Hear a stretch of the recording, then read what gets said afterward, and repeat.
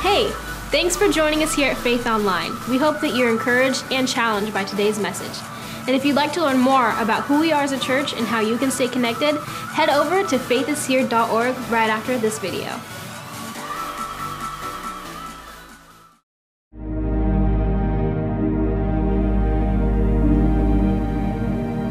Some things transcend time and culture.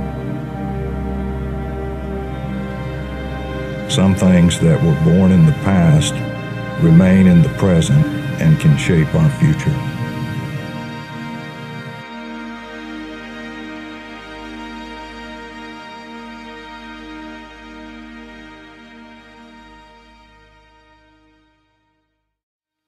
All right. Hey, good to see everybody today. Great to have you here at Faith this morning, and uh, welcome. Uh, understand Laurel crushed it last Sunday morning. Where's he at? Had an awesome time uh, with Pastor Laurel. Uh, I had the chance to go. We have five campuses uh, that we worship at all around the low country. And I had the privilege last Sunday morning of preaching at our North Campus. Hadn't been there in a while and just had the chance to go over and minister the word and greet our family, our brothers and sisters right over there at North, and told them you all said hey. So uh, whether you did or not, anyway, I did that. So uh, I spoke up for you. We had a great time, great service over there as well. Uh, we're in a stories, we're in the Luke series. We're talking about the, the Gospel of Luke. The Dr. Luke gives us a, this incredible account of Jesus Christ. And we're in the parables section. And there are many parables that are peculiar only to Luke's Gospel. And we're looking at some of those, some that you may find some references to in other parables as well. So take your Bibles out and turn to Luke chapter 14 this morning. Luke chapter 14. Jesus Christ is the ultimate storyteller. If anybody could tell a story, it was Jesus. And he could weave these incredible stories and he would kind of draw his audience in and he would have them on the edge of their seat. And then he hit them bam with that punchline and turn everything around and flip the tables on them. And he was just a master at doing that. And, uh, and these stories that he told then still have power today to change lives. Uh, we already began with Luke chapter 11 we saw the parable on prayer and he taught about the persistent person who neighbor who asked all night long and knocked on the door and then he said ask seek and knock. Come boldly before god. You can come boldly before his throne of grace anytime morning noon or night and he's a good god and because he's a good father he won't turn you away Incredible, credible. And that whole Lord's Prayer is right there in Luke chapter 11. And then in Luke chapter 12, last week you learned how we got to be ready, that the Master could come in an hour when you're not, think not. And so what's our responsibility? We're always watching and we're always serving. Always watching, always serving. And when we're ready and watching, he turns the tables again and he says, The master comes back and he will serve you. He will wait on you. And he did that by laying his life down on Calvary. An incredible, incredible story right there. In Luke chapter 14, and let me give you the background. We're going to begin in just a moment with verse number 7.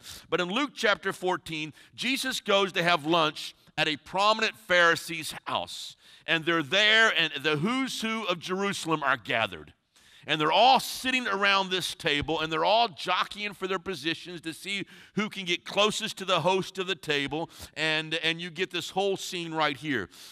Many of the parables jesus told and many of the miracles he did and many of the settings we see in the word of god were found around the dinner setting the table setting. They, they, that becomes the backdrop for the Lord's teaching, for his miracles. We talked about the feeding of the 5,000, always feeding, always eating. It was so part of their culture and their life, and this became the whole backdrop for so many of his stories. Now, I will tell you, I would have fit in well there because I love to eat. Anybody here love to eat like I do? I'm, I'm, I'm all about eating. I, I, uh, I, I, I, love to eat. Spring's coming up and, and summer and it's cookout season. And so I'll get the grill out and we'll fire that grill out. And it's always kind of a, with all the guests who are there, it's always at my house, kind of a guessing game. How many burgers will he ruin today? How many will he burn today? And of course, I always sacrifice my first 10%, and those are burned up, and they, they, they, they are really, really rough shape. They could be hockey pucks. I had a group over last time, and Laurel and I, Laurel was helping me, so he takes some of the blame. And uh, we let that fire get away. Man, we had some burgers that came out. They were so hard and so tough. And uh, I felt really sorry for those who were gathered there. And so that's kind of the burger time. Uh, I, I lead a life group. I lead my group on Wednesday night. And we have a we have just a great times of praise and worship and then we study the word a little bit and, and we pray a little bit together we pray and, and, and do that and share with each other share life together but my, one of my favorite parts of the group meeting is the food time and I got some amazing ladies who bring some amazing food, and we put it together and we always eat. How many were able to come to the wild game banquet last night? Let me see your hand. Wasn't that phenomenal? I mean, all you could eat turkey and pulled pork and quail and we had all kinds of amazing food and i was right there in the thick of it just just going as fast as i can you know? It's just it's like it's it's like it's my last meal. I treat every dinner like it's the last meal last meal and we treat it that way and that's why i struggle so much. But food and so you have this dinner setting and there's something about dinners there's something about the lunchtime or the dinner time that you can take somebody out and all your defenses come down,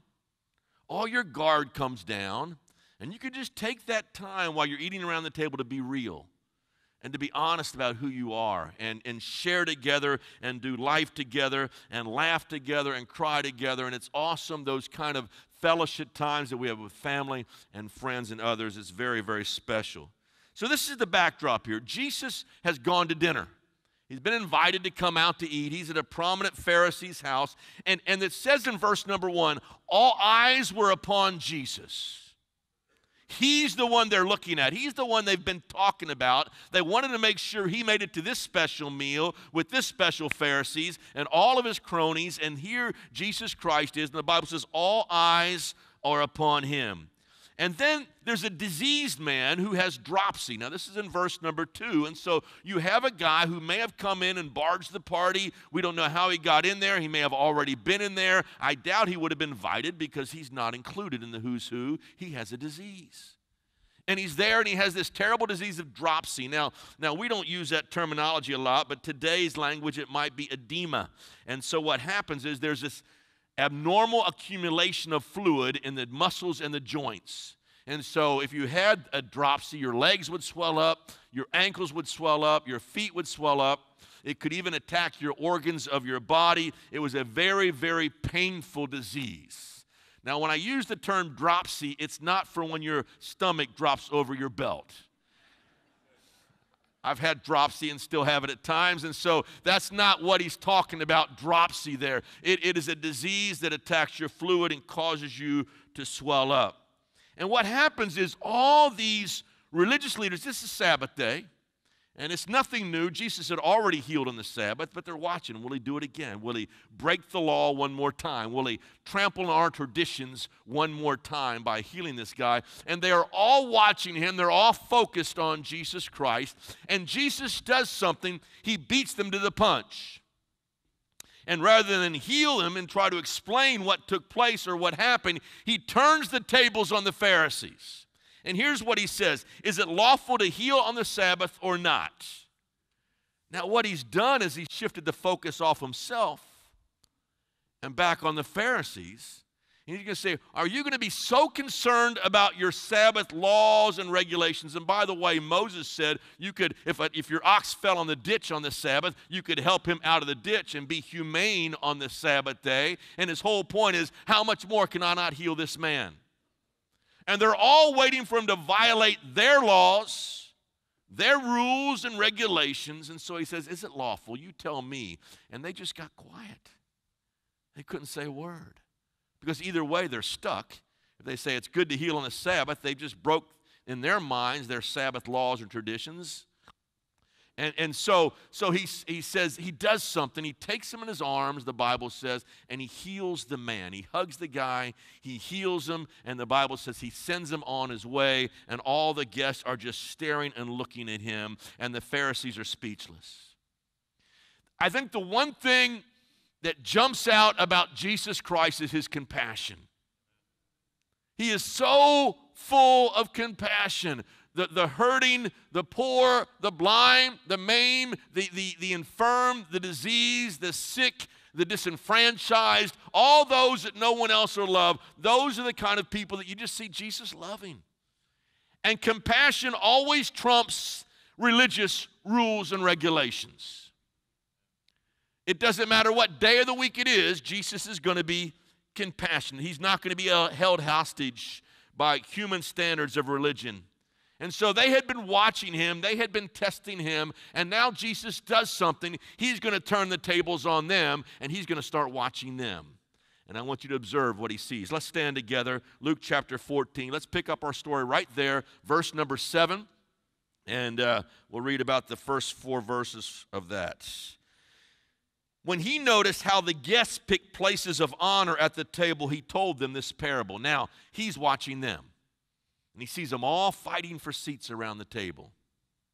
When someone invites you to a wedding feast, do not take the place of honor, for a person more distinguished than you may be invited. If so, the host who invited both of you will come and say to you, Give this man your seat. Then, humiliated, you will have to take the least important place. But when you're invited, take the lowest place, so that when your host comes and he says to you, Friend, move up to a better place, then you will be honored in the presence of all your fellow guests. For everyone who exalts himself will be humbled, and he who humbles himself will be exalted. Wow. Father, I pray that today, as your church, as your people, we would strive to take the lowest places that we would be humble, that our first heart and first desire would be to serve those around us, to serve those in Summerville, to serve those in Goose Creek, to serve those in all the low country, God, to serve those who are coming in by the hundreds every week, God, to serve those in our schools, to serve those in our community, God. Help us to be your choice servants that you've positioned right here. Open up the word of, our, of God to our hearts in a new and living way. And we ask this in your mighty name. Amen and amen. God bless you. You may be seated. Jesus is watching them, and, and he's watching how they're, they're fighting around the table and they're kind of moving each other around and they're hurrying to get to the better seats and the better spots and they're trying to get as close to the host as they can. Now, now every culture had its own seating etiquette. There was a special way to seat, and so typically what happened is the host of the table sat somewhere midway across, around the table, and they would typically recline or, or lay back somewhat as they reclined around the tables and prepared themselves to eat. Uh, at his left hand, he would put his most prominent or important guest. And so, if you were at the, the host left hand, that was in that culture the best seat. And then the next best seat was, of course, on his right hand. And so, you would have his two best buddies on either side. Remember when James and John says, Let one sit on your left and one sit on your right hand in your kingdom? They are asking for the best seats in the house. Okay? These are the very best seats, very close and very near to the host. And from there, they would kind of go on down sequentially on around the table as the guests spread out around that table in that culture in that day and age. And as the room is settling down, what happens is everybody's kind of looking around and saying, Who's close to the host? Who's his best friends? Who's, who's, the, who's the most important people around here? And not only are they doing something, they are not only comparing themselves with themselves to see where they're at in the pecking order or where they're at in the seating order to say, you know what, I'm not as good as this guy, I'm better than this guy, you're not so good over here, but I'm really great over here. They're comparing this, but they're also comparing their ranking in the host eyes. Because who's most favored by him? Who is most loved by him. And so both of those dynamics are going on at the same time. And, but God doesn't assign rank based on works. It's not how God works. It's not how his kingdom works. He doesn't follow the same standards for man in judging greatness. In fact, he totally flips the tables and says, if you want to be great in my kingdom, learn to serve. And if you want to be elevated, pick the lowest places and let God elevate you and let God bring you up. It's not about who gets the best seat in the house. It is the opposite kingdom of God. Everything about God's kingdom is opposite with culture. It's the same today. Humility receives the praise, sacrifice receives the glory, and pride will result in public disgrace. And he says, You know what will happen if, if you're here next to me and you've got the very best seat in the house, and my guest of honor walks in late to the banquet? I'm going to ask you to move and go down to the lowest seat, and you will be indignant and you will be humiliated, and pride is the way to a fall. You will lose out, you will fall back. Bowing low, humility, puts the humble on a fast track to the top in God's kingdom. And so he says, if you want to be honored by God and, and lifted up by God, humble yourself, become a servant. That's what God's looking for in his kingdom. I'm looking for servants, the Lord says. The Bible says Jesus, our King, lowered himself and he became a servant, and it was God who would then exalt him. Turn to Philippians chapter 2. Excuse me you see this very table setting parable kind of played out here in the life of Jesus Christ. And he just doesn't mix words when Paul writes the Philippians. Verse 5 Your attitude should be the same as that of Jesus Christ, who, being in the nature of God, did not consider equality with God something to be grasped, but made himself nothing, taking the very nature of a servant, being found in human likeness and being found in the appearance as a man, he humbled himself. He became obedient to death, even death on the cross. And so you see this image of, of God, fully God, being allowed to be robed in flesh. This total act of laying aside his prerogatives as deity and becoming a man. Therefore, God exalted him to the highest place. Jesus comes to earth, humbles himself, and God says, hey, move up here. Move up to my table. Get closer to me. Wow.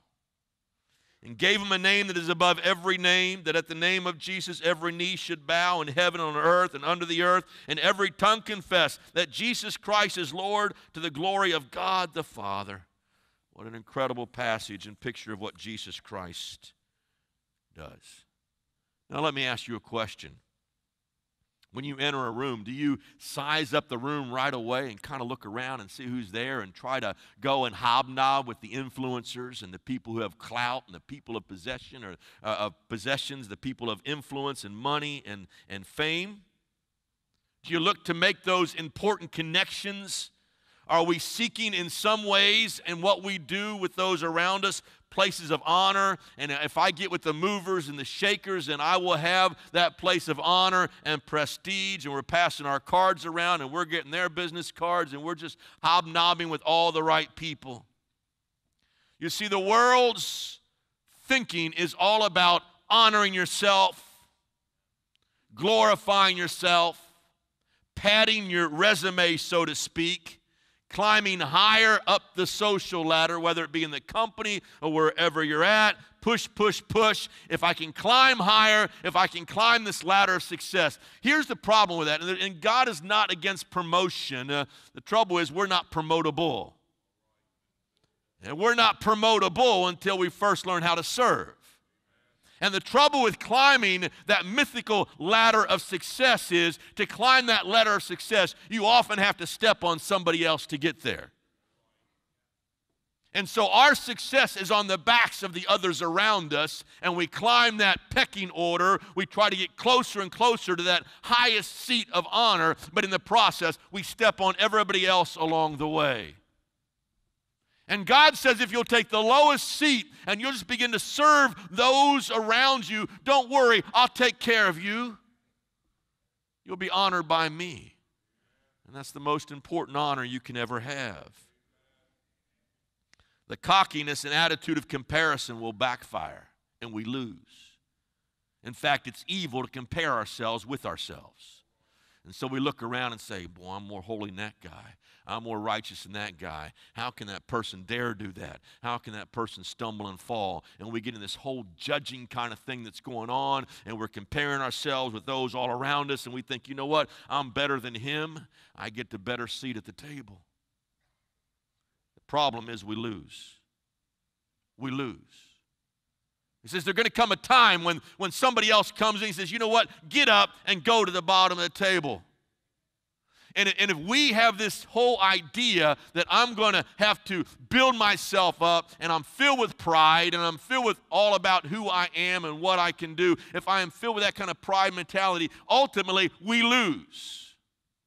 You say, Pastor, what do we lose? I'll tell you, you lose your joy.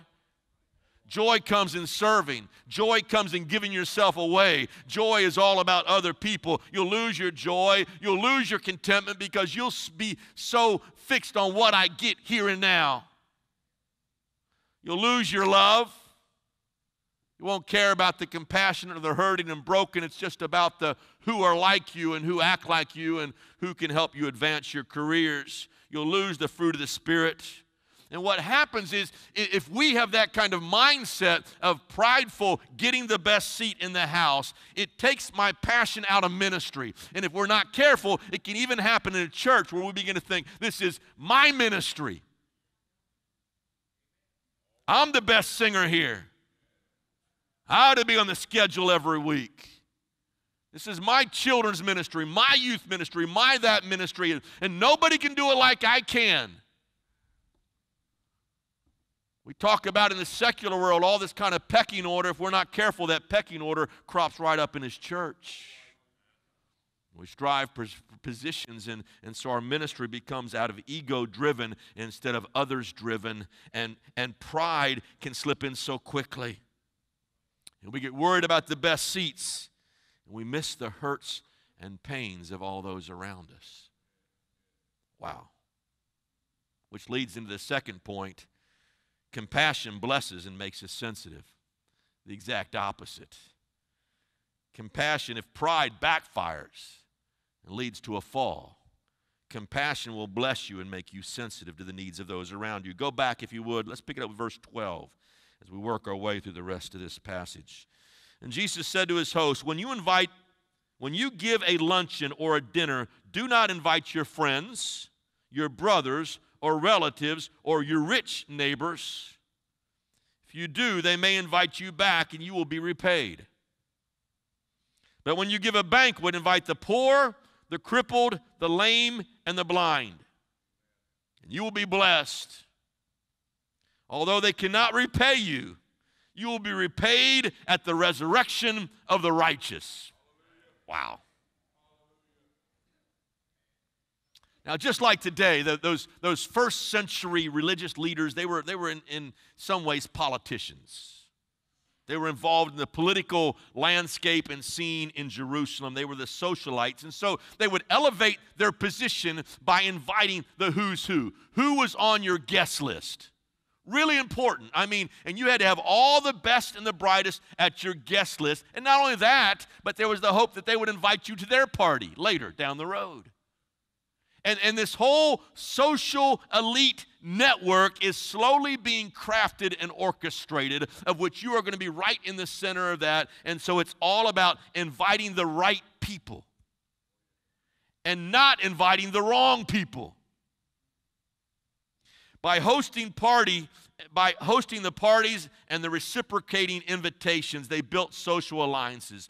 Jesus suggests something to his host. Now, his host is hosting the party at which Jesus has been invited. But he says, I want you to take a different approach. Rather than find those who will advance your career, use your assets to benefit those who cannot help themselves. Of course, if the host agrees to do this, it would be tantamount to committing social suicide. Now, here again, you see this compassion of Jesus Christ. He says, These are the kinds of people that God has blessed you with means and assets and finances. The kind of people you should go after are not the people that are already also have means and finances and social standing. Go after those who can't help themselves. Go after those who everybody else rejects. Go after those who, if you brought them into your party, people would say, you know, I'm, I'm not going to that party. It's filled with all kinds of, of, of lame people laying around, and there are blind people being led around. And it's a problem, and it's a nuisance, and I am not going to that kind of party. We are to help those who cannot pay us back. So, what are we doing to care for the orphans today? What are we doing about the widows in our congregation and all around us? Are we speaking out for those less fortunate? What would happen if we truly and genuinely lived out this kingdom lifestyle today? What, what, what, how would that impact? What would that look like in our society? The Pharisees believed in compassion, but only when it served them. And so, if they did give, they made sure everybody was watching to see what a philanthropist I was and look how much money I'm giving. And they made sure all eyes were on them. So, even in their giving, it was very self serving. The call still goes out today invite the poor, the crippled, the lame, the hurting, the broken, the addict the hungry, the homeless. Now, something happens. When you do that, then that begins to soften you.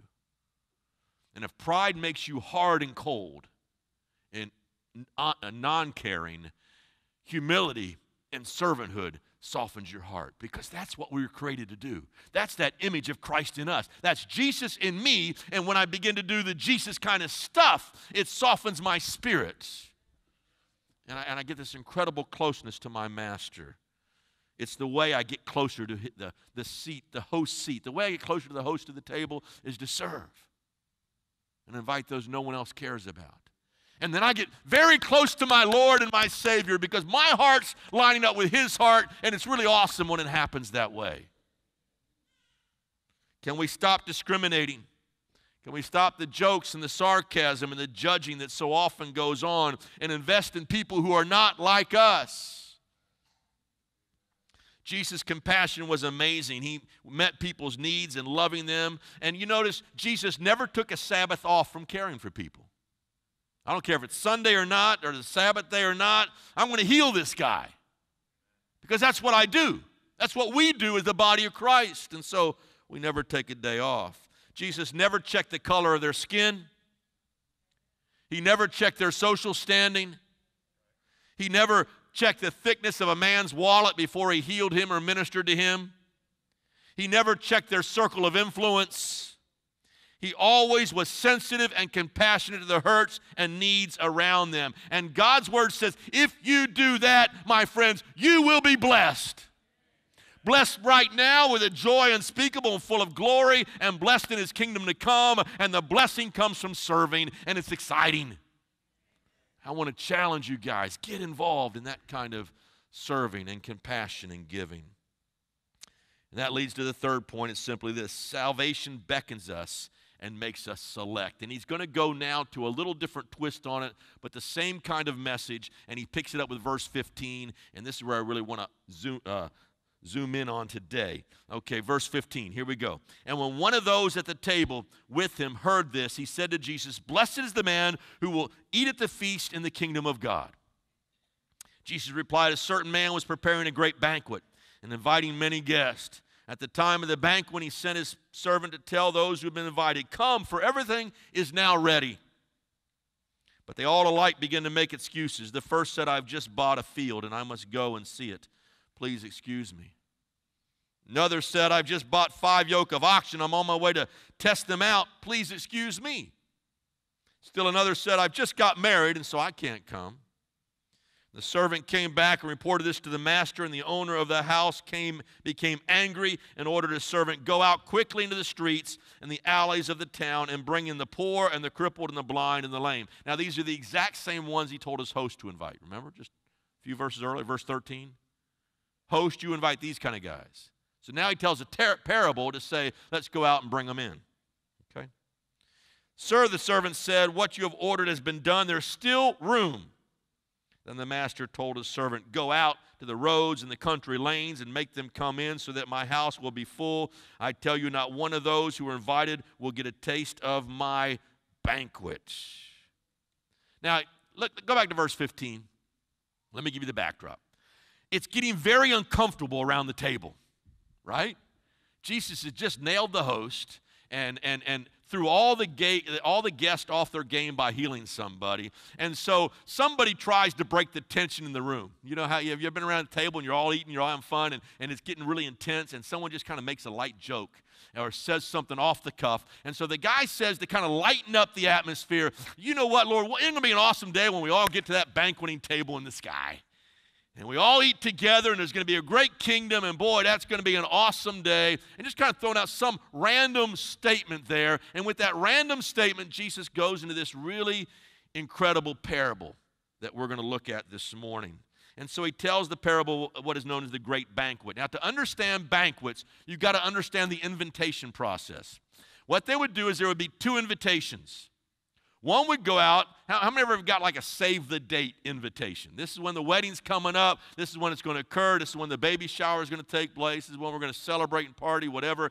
Here's the save the date. And please RSVP so we know how much food to prepare and get ready for. Just write it down. If the date's clear, let me know. So they sent out the first invitation, and everybody's looking at it. Yeah, I can make that. Sure, I can make that. Yeah, I'll be there. And all the invitations start pouring back in about all these guests that are coming to this great, big, huge banquet feast. The second invitation would go out approximately the day of the banquet and, or the day before, or right in that proximity to the dinner happening. And, and it would go out to everybody and say, okay, the food is now ready. Now you can all come. Everybody that RSVP'd, everybody that said, I'm going to be there, I'm going to be at that banquet, now it's time. Table is spread. Come on out. Everything's ready. Six o'clock, let's have a big party tonight. Got all kinds of food, and let's get ready. And so there was the second invitation that would go out. Now, let me give you a little backdrop in history. The first invitation went out to the Jewish nation. It went out to Abraham, Isaac, and Jacob. Right? You with me? It went to the Jews. It went to all their descendants. And the invitation said basically this Hey, I'm going to build the kingdom around you guys, and you know what? I'm going to send a Messiah. And when the Messiah comes, he will be King of Kings and Lord of Lords. And so the pre the first invitation in history went out to the Jewish nation. Romans 1:16 I am not ashamed of the gospel because of the power of God unto salvation to everyone who believes. First to the Jews, then for the Gentiles. Okay? You get the order there? God's chosen people, the Jewish nation. The invitation goes out, written in the law, written in the 10 commandments. There's an invitation to God's kingdom, but it's going to foreshadow the coming king. Got that? The second invitation goes out. And now the excuses begin to pour in about why they could not come. Now, that I don't know if they had text or Twitter or what happened, but somehow word got out this is a lame party. And we're not going. Because you look at their excuses, their excuses are very, very lame for why they could not come to this big, big celebration. The first one says, I bought a field, I got to go check it out. Well, first of all, nobody buys a field without looking at it first. I'll buy your house, don't, don't even see it, just tell me how much, I'll write you a check. Not only that, but the dinners were always at nighttime. Who's going to go out and look at a field in the middle of the night? Not only that, but the field's not going anywhere. It's going to be there tomorrow and the next day and the next day. Fields don't run away. Lame excuse. It's just, you know what? I don't care about you. I'm not coming to your dinner. And then the, the second excuse I bought five yoke of oxen and I got to try them out. Now, here again, who buys the yoke without first trying them out ahead of time. Uh, but but th- this whole lame excuse. Now, the, the first excuse kind of lines up with some of our excuses today. It says, I've made an investment, I've got my money tied up in this land, and I'm more concerned about my money and my investment than being a part of your kingdom. How many today turn the invitation away to the kingdom of God or, or, or, just don't respond to it because I've got my equities and I've got my stocks and I've got my boat and I've got my stuff and I've got my finances and I don't have time for Jesus. Listen, materialism in America has been squeezing God out. How do we respond? Do we seek God's kingdom and his righteousness and let God take care of the stuff? Or do we worry about the stuff first? I can't come to your bank. The, the, the, second one is about our work, about our job. I've got these oxen, they're, they're my livelihood, they're the key to plowing the field. I've got to try them out. And how many in their job will put their job before God and we work all the overtime and I don't have time for the Lord and my family and everybody else because I've got to get ahead in the job. And that becomes our little idol. And then the third one is I just got married. And I got to take time off with my new bride. Now, in that culture, you could have brought your bride along. This was not a stag party. Anybody can come. And yes, while our families are important, the Bible says this if you do not love God above everything else, in fact, the love of God, you got to be willing to leave father, mother, brother, sister, because the kingdom of God is the most important challenge of our lives. It's our calling, it's who we are, it's about eternity. We got to get that straight. Now, with all this food and no one showing up, the host is hot. He is angry. There is a rage that fills him. Now, the excuses picture the Jewish nation. The first invitation went out to Abraham, Isaac, and Jacob, and on to Moses. With the Messiah is coming, the banquet's coming, the dinner's coming. But when the when the Messiah came, the Bible tells us in, in, in John, Jesus came to his own, and his own received him not. When the invitation day finally came and the great feast of God's grace was here, they rejected Jesus Christ. In fact, history records it was the Jewish leaders that had Jesus Christ crucified. Paul would preach to them in the book of Acts It is you who have crucified the Lord of glory. Now, I know theology, the, theologically it was my sins that hung him on the cross, and we were all culpable. But, but in, in history, as it occurred, Paul, uh, Peter preaches, It is you who have killed the Lord of glory. And so he lays the blame at the feet of these Pharisees and these Sadducees and religious leaders. They rejected the second invitation. They were making their excuses about why they could not participate. The Jewish leaders had rested in their heritage. They had their Jewish DNA, and so they thought they were automatically grandfathered into the kingdom of God. And because I'm a Jew, I am guaranteed a seat at his table in his kingdom. But they were wrong. The only way to get to God's banqueting table is to accept God's invitation of grace. To say, God, I am a sinner. I can't save myself. Works won't do it. And we receive his invitation of God's grace. We invite Jesus to come into our heart and life. That is the only thing that will get you a seat at his table. His invitation was extended through his son, the Lord Jesus Christ. But by pursuing their own agenda, their place was given to others. And the Bible says, Go out and now find the poor and the crippled and the lame and the blind and invite them to come to my dinner table. Luke 13 verse 29 and 30, it says, They will come from the east and the west and the north and the south and will recline at the table of God's grace. He's describing that who is all going to be brought in from all over. Everybody, every race, every kindred, every tribe will come to the table of God's great grace. And in God's kingdom, the first is last and the last will be first. Romans 9, turn to Romans 9 very quickly. Romans 9 and verse 30 to 33. Now, he's, he's really talking to the Jewish nation here, Paul and his theology. 9, 10, and 11 are about Israel's rejection of Christ and God's eventually grafting them back into his vine. But he starts out in verse 30. What shall we say? That the Gentiles who do not pursue righteousness have attained it, a righteousness that is God by faith. But Israel, who pursued a law of righteousness, has not attained it. Israel went after the law they couldn't come to his banquet. The Gentiles went after grace. They make it to the banquet. Why not?